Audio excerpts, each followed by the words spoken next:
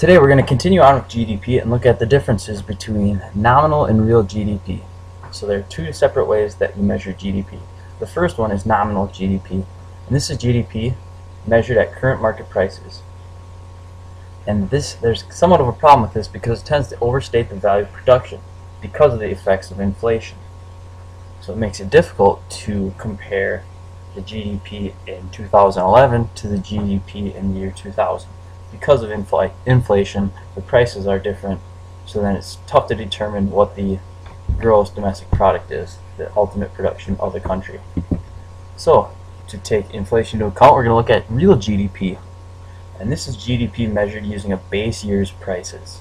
So we'll, to calculate the real GDP of the year 2011, you're going to use the prices from the base year, and if we want to use our base year as the year 2000, you take the year 2000 prices and apply that to the quantity produced for the year 2011 to determine the real GDP of 2011.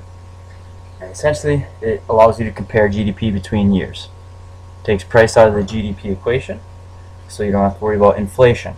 And real GDP is the important one, because that's what you can really compare um, various prices and years in production. So for example, let's look at the nominal GDP.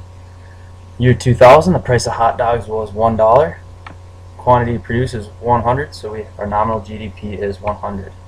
Year 2007, the price of hot dogs um, jumped up to two, $2, producing the same quantity of hot dogs as 100, so now we are at 200. It's just a simple price times quantity um, for just this one product.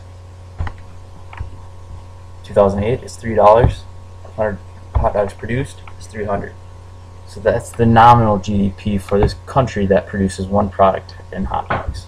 We want to look at the real GDP now, taking, not worrying about inflation or taking that into account and having kind of the base year as the sole prices. So if our base year is 2006, we'll take the 2006 price for a hot dog, so we're going to change the rest of our years that we're calculating.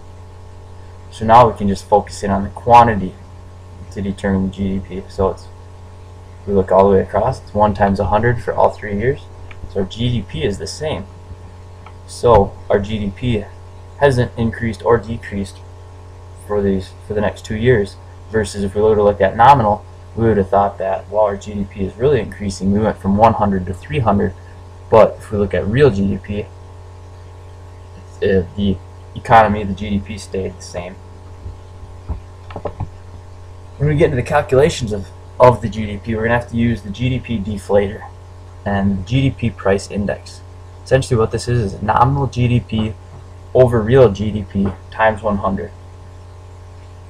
And just kind of as a little side note, the deflator of the base year will always be 100. And another form of that equation is real GDP equals nominal GDP over the GDP deflator times 100. So if we look at this latte economy here, our base year is the year 2000.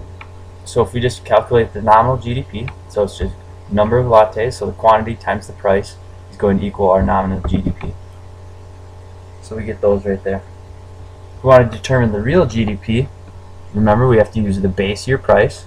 So we're going to times all of these quantities times the base year price of $2 gives us our real GDP. And to find the GDP deflator, the price index, nominal over real GDP, gets times 100 gives us our GDP deflator. So that's how we're going to determine how to, various calculations to calculate GDP.